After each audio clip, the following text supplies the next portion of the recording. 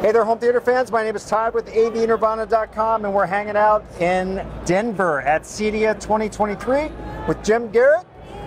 We're checking out the classic series here from JBL. So we introduced these products earlier this year. They're just now coming to market. And this came out of something we did back for the 75th anniversary of the brand. We had this amazing range of loudspeakers with this really unique retro design, the L100, the L82, the L52. And we knew that people were using them with very modern looking electronics, which kind of ruined the vibe of the whole thing, right? Yeah. So we said, well, we should just create some electronics that have that same retro appeal as the loudspeakers. And we did it with an anniversary edition, but the popularity of that said, we just got to do a whole range of products. Yeah. So that's what we've created here. So we've got the SA550 integrated amplifier, joins the SA750 that actually remained in the range. Okay. And then we've got our MP350 music player, so it's a streaming audio player. Okay. And then the CD350 is a good old fashioned compact disc player. And then at the end, the TT350, which is our turntable for vinyl lovers. So Awesome. Okay, so with the streamer, does this have an integrated app that uh, Yes. Yeah. consumers So, can use? yeah, there's a new app we just developed called the JBL Premium Audio app. It's available on iOS and Android stores. Okay. And what that does is it, a couple things. So first of all, it makes it very easy to connect the product to your network. Obviously, there are no controls on the front of this unit. Yeah. Since it's intended for uh, streaming audio, you're going to put it on your network at home. You can either wire or wirelessly. So in a, in a wire connection, getting that thing connected to your network in there, you'll use this app get it all set up and you're ready to roll that way. So we've got uh, Chromecast capability, we've got AirPlay capability uh, in the product, in the app that we've got. You've got Amazon Music and you've got Qobuz capability in it. Okay. Tidal Connect, Spotify Connect would work with the product natively. So Okay. you use those through your app on your phone. And the cool thing about this is we, we know there's a lot of guys out there that have vintage hi-fi gear and they want to add modern high-res streaming capability to the Right. product. Yeah. But you don't want this thing that looks like a modern black box with a big, you know, huge display on the front of it. They want something that looks retro. So we gave that you know, decidedly, you know, 60s, 70s appearance with the machine front panel and the real wood walnut veneer sides. Oh, this is real wood on the It's real wood on the sides, yeah. So it's Yeah. the same wood that we use on the loudspeakers. Uh-huh. So that way you get something that has that vintage appearance, but it still gives you access to full high res streaming capability. It's a Roon endpoint. There's all the stuff that you'd want to have from streaming, uh, but getting it in something that looks like it shouldn't have streaming. Right on. And now step down, we've got a CD player, which is interesting. Yes. mean- so there's a lot of CD players still being sold, right? It's amazing. And with both vinyl and CDs, you know, sales of physical media have, been on the rise, be it a little or a lot, depending on where it, the, the recent years, right?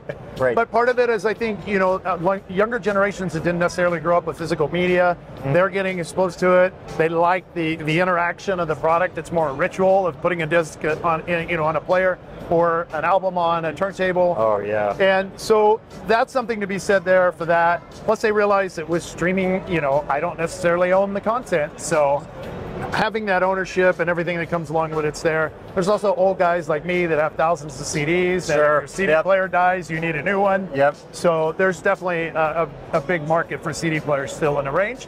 So we wanted to put one as part of the classic series. Awesome. And this also, does this have app control also? No, it is no? it is an old-fashioned CD player. CD Yes. player, the physical remote control? and- Yep, yeah, you got a remote control for it. It's one of these three. I don't know which one it is because they all look alike. But Yep. uh, so basically, a, a nice, cool remote control that you'll get to operate the product. So Okay. Anything special, particularly about the turntable? well, beyond yeah, the, uh, it's super cool.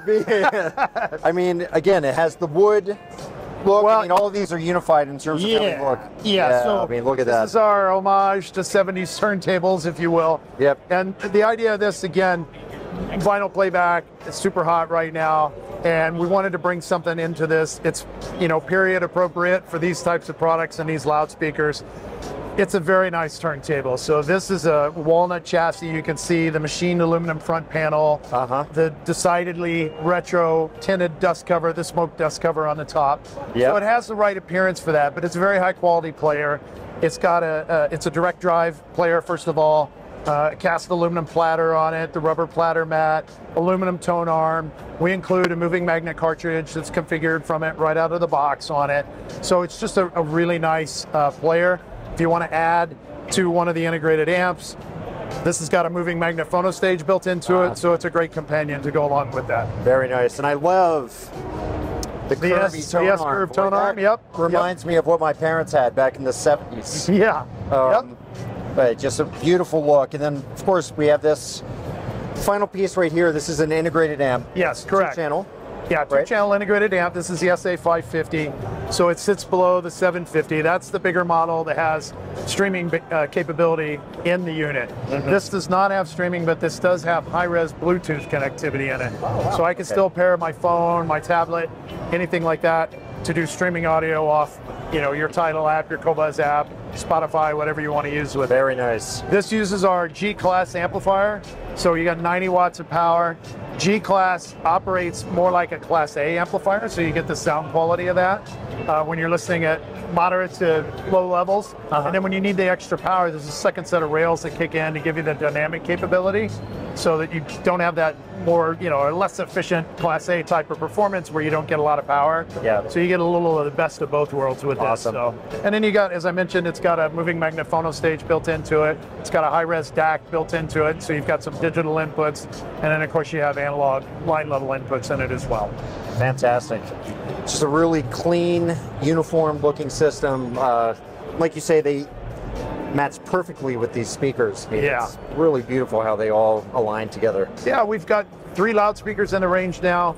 I think these components are really right sized a bit more for the L82 uh, and certainly even the L52. And we've got our new Classic Series subwoofer over there in the corner too. So the price point of these I think matches the smaller speakers. The bigger amp, the SA750 is a lot more money, and that works really well with the L100s. But these are perfect to go with these products. Fantastic.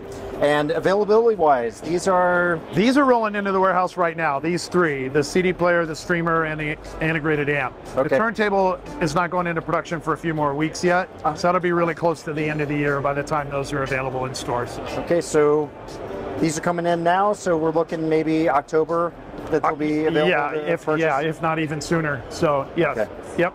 Awesome. All right. So we have that to look forward to.